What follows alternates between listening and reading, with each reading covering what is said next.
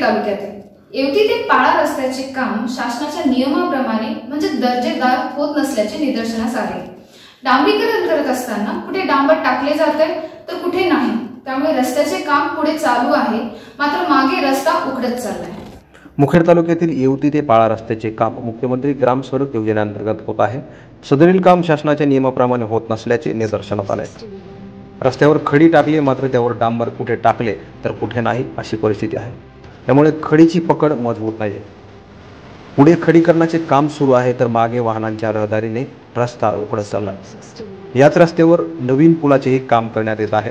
मात्र त्यावर वेळच्या वेळी पाणी न टाकल्याने सिमेंट कॉन्क्रीट राख झाले. त्यामुळे हाताने कॉन्क्रीटमधील खडे बाजूला निघत आहेत. सदरील काम अतिशय निकृष्ट दर्जाचे आहे. या रस्त्याच्या कामाची संबंधित विभागाकडून कसून चौकशी व्हावी अशी मागणी जनतेतून केली जात आहे. मराठी महाराष्ट्रासाठी विठ्ठल पाटील मुखेड.